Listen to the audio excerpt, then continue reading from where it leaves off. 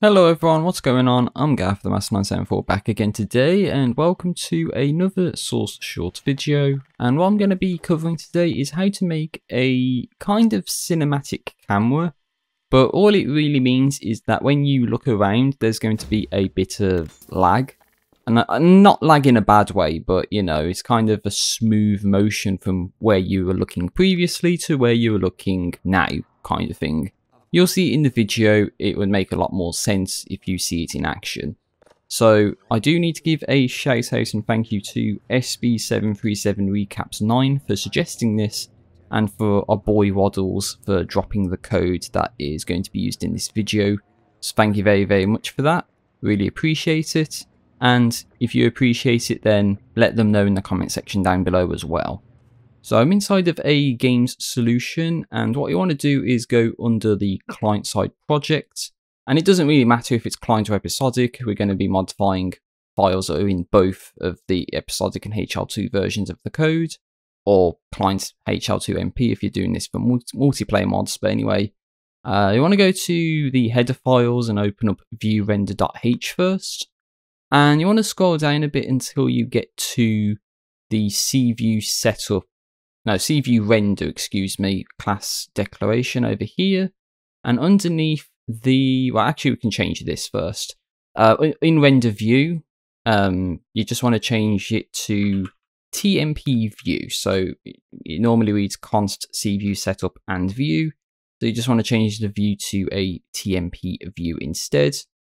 And somewhere around here, I think it's actually above us, there's a protected section, yeah, add view to scene, and beneath that is a protected variable, you know, declaration section or whatever.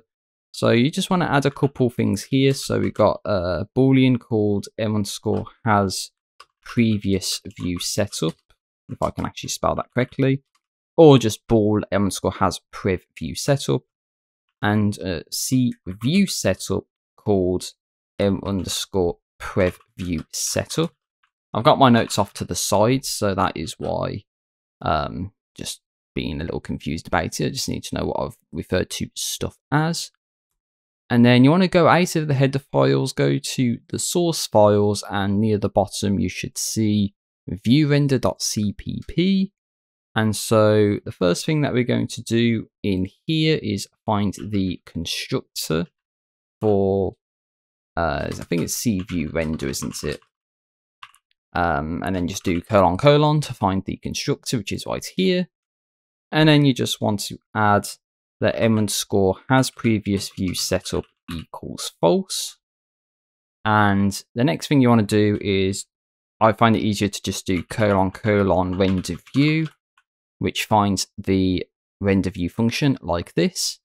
Now you see it's not causing an issue. We did change this variable name to tmp view instead of just view and it doesn't seem to have caused any conflict. But I would say, for the sake of consistency, you just want to keep this the same as what we've done inside of the uh, the header file. Now, it is going to cause an issue down here, but we'll get to that very shortly. So at this point, I am just going to do a quick copy and paste because there's going to be a bunch of convars that we need to define, and I'll probably leave it up to you to pause the video so you can copy these on your own if you so wish to. And I do need to zoom out, so I'll just go to 100% and hopefully that you can read this all a-okay. Um, but essentially what we've got here is a convar called R camera cinematic, which determines whether the cinematic camera should be enabled or not. So you just define a convar with the name that is going to be used in Visual Studio. That's the name that you type in the developer console in speech marks. That's the initial value, and then any flags if necessary. So I've decided to go with fcvar client DLL, which means it's defined by the client. But you can add stuff like S fcvar cheat to make it so you have to use sv cheats to change it, or just use zero to mean there's no flags. So we have uh, yeah R camera cinematic, then R camera cinematic lag origin, which is another boolean convar, uh, R camera cinematic lag origin amount, which is going to be a float value, 0.025, I think is a good amount to use. Then R with cinematic lag angles, that's another Boolean convar. uh, R camera cinematic lag angles and mount, which is another float. Again, I think 0.025 works for that. And R with cinematic view model fix, which is another Boolean convar. So that's just the convars we're going to be defining and using a little bit later. So what we need to do after this is underneath this m underscore underwater overlay material dot shutdown inside of the render view function, cview setup called view, which equals tmp view. Excuse me, I can't type. I can't do anything about it. And what we're going to do for safety purposes is create another cview setup. And we're going to call this tmp view model view which is going to equal view as well. And so what we're going to do after this is we're going to have an if statement. And again, just for the sake of brevity, I will just uh, copy and paste that. And what I'm going to need to do is probably do something like this, hopefully. So you see everything. So what we're adding is if our camera cinematic dot get bool, so if that is equal to one, then if we don't have the previous view set up, then we set our, you know, previous view setup to be the current view.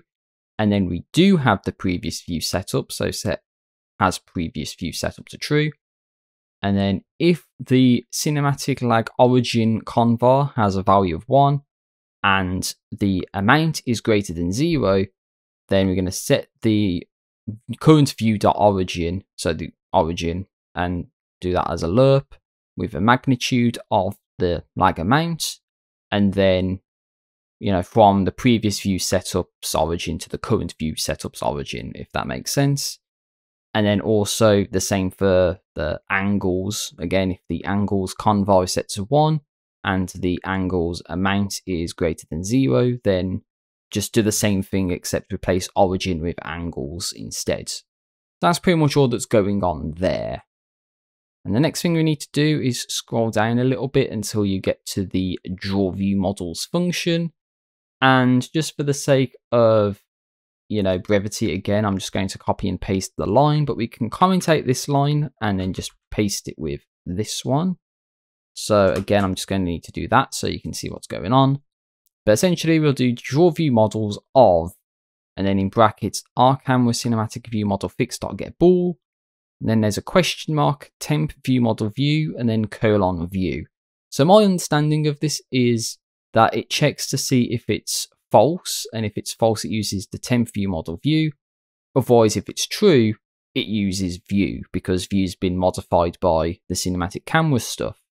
And then we just leave the second part, what to draw and render view, draw view model as is. And then the last thing you're going to need to do is go all the way to the bottom of the render view function underneath g underscore world list cache dot flush. And then we just want to say that m underscore previous view setup equals view. So I'm going to try and build the solution. It should build with zero issues and then you can get into testing.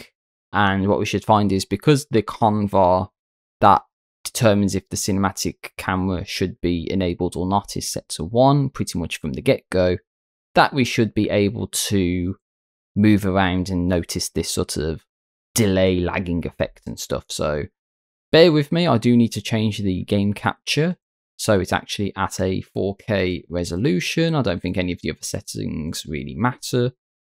And then what I need to do is also change the game so the game actually gets recognized like so. And then all we need to do is load into a map. Because this is a test project, all I've got is SDK vehicles. But as you can see, when we look around, the camera kind of lags a little bit behind. So you can look up, look down, look to the side, spin around. Now, one of the things I would say is if you do like spin around really fast, then you kind of notice that the camera kind of gets stuck.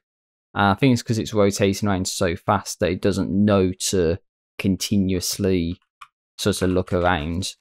But um, another thing that I noticed as well is that if you have something like the gravity gun or the crossbow equipped, then you'll see the client side effects don't really draw with the end of the view model as they're supposed to. So for the crossbow, it would be the little sprite effect that you see. It might be a bit difficult to notice, but it's there. And for the gravity gun, it's pretty egregious. It is the effect that you see off to the side. So if we were to go to stuff like the Arkham with cinematic canvas, if we turn the view model fix off, then it looks pretty weird. Um, you can like turn around and see sides of the uh, the view model that you weren't supposed to. So you see it's like textured with no draw, which is pretty interesting. So you pretty much need to have that set to one for the view model to follow along properly. And you know, you can change the camera cinematic lag angles and lag origin amount to whatever you want. If we were to say increase the lag angles to 1, then you'd probably realize that it doesn't really look any different than normal Source 2013 gameplay. But that's the tutorial, that's how you would add a cinematic camera into uh, Source 2013 mods. Again, massive thank you to WadDelZ for providing the code to make this happen and to to uh, SB737 Recapped 9 for suggesting this idea in the first place. As always, let me know what you think in the comment section down below. I know I've screwed up with this video quite badly, but uh, you know, it is what it is at the end of the day. There's always going to be scrubs in these videos, but yeah. Have a great day, take care out there, peace out, see you later, and hopefully you'll check out the next video that I do. Thanks for watching.